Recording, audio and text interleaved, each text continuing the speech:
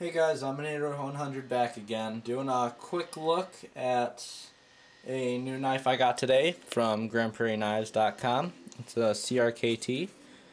If you can read that, it says, I don't know if you can see that, but Toothpick Classic.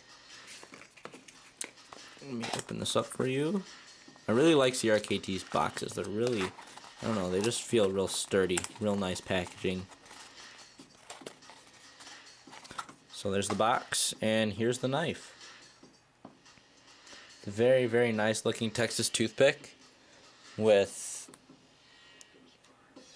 bone handles, cheekbone handles. Very nice looking. Has a very sharp blade. I've used it a couple of times already, and a very nice tip. Has a good nail nick and a good half stop. These are just first impressions. There will be a review in the future on this knife.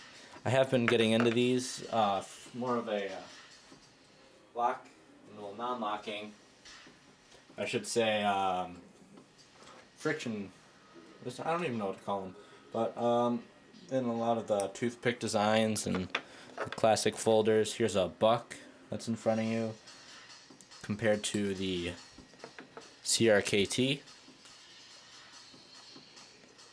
Pardon me for the glare on that knife. Jeez.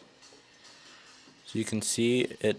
They are just about the same size. I think the CRKT is a tad bit longer, and here is a Buck Classic.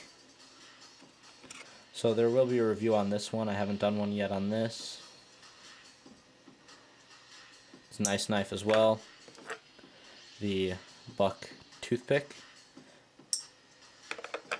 and then my new CRKT toothpick it says it right there. So that's gonna be about it you guys. It's been Zombinator 100 new look at some interesting knives right there. Um, am waiting for one more Balisong here's just a row of them starting in the back and just kind of moving on up. And if you can see that right there United States Liberty coin. As you can see, I'm going to have a new currency video up soon. And, you know, I'm going to do reviews on my watches. Newest one is right. Whoa, focus. Come on. Here we go. Newest one is right there. And those two I got around the same time. So that's going to be about it. It's been Zombinator 100. Peace and out.